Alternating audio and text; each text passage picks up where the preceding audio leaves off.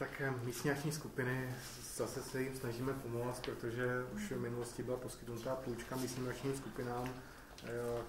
které jsou v té tabulce jmenované, které působí na našem území, k tomu, aby dokázali si předfinancovat jednotlivé věci s tím, že nám byly navráceny v letošním roce a my jim poskytujeme opětovně ve stejné výši, nicméně jinak rozdělené ty finanční prostředky, protože místní akční skupiny mezi sebou se domluvily na klíči, jak chtějí vlastně udělat to rozdělení, aby zohlednili na svoji působnost oproti třeba maskám, které působí v jiném kraji, nicméně mají přesah k nám.